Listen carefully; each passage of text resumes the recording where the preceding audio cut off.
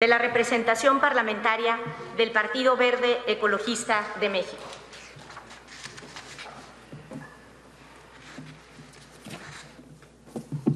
Con su venia, diputada presidenta, ingeniero Enrique Alfaro Ramírez, gobernador constitucional del Estado de Jalisco, maestro Ricardo Zuro Esteves, magistrado presidente del Supremo Tribunal de Justicia del Estado de Jalisco,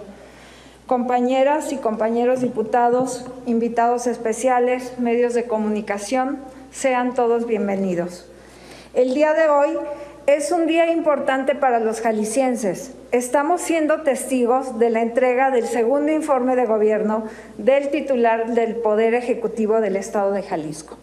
Sin duda, un ejercicio constitucional que enaltece la democracia de nuestro Estado, mediante el cual el gobernador informa a esta soberanía, a los representantes de los ciudadanos, del ejercicio de sus funciones al frente de la Administración Pública del Estado.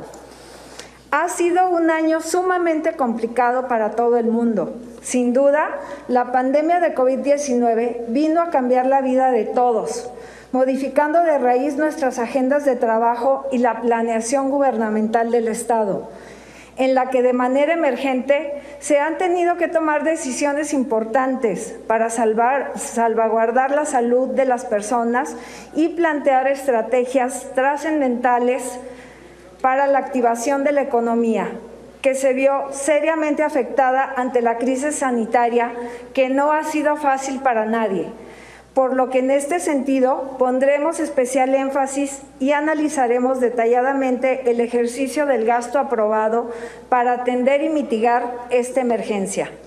Como le hemos demostrado a lo largo de la presente legislatura, seremos una oposición responsable. Observaremos y seremos críticos con aquellas acciones en las que no estemos de acuerdo, pero también reconoceremos el buen trabajo que se haya realizado por las dependencias a su cargo.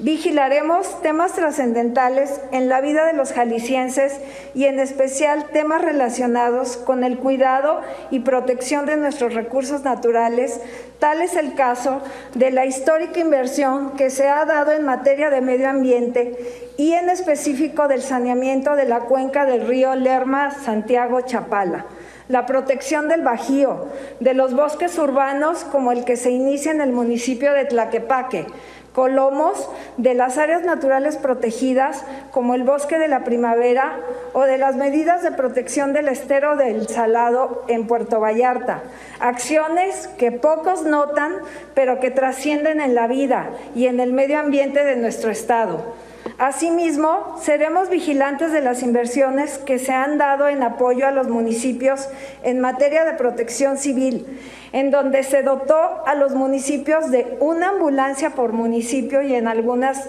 les tocaron dos o más, y el equipo que se adquirió para combatientes forestales o la inversión realizada en la construcción de ciclovías, una de las más importantes de la República, donde se incrementó también el parque vehicular de bicicletas públicas para llegar a poco más de 3.000.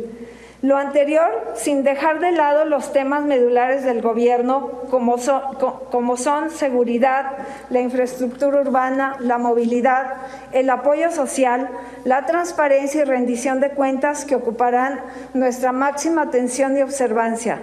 Por lo que le reitero, señor gobernador, el Partido Verde encontrará una oposición responsable y crítica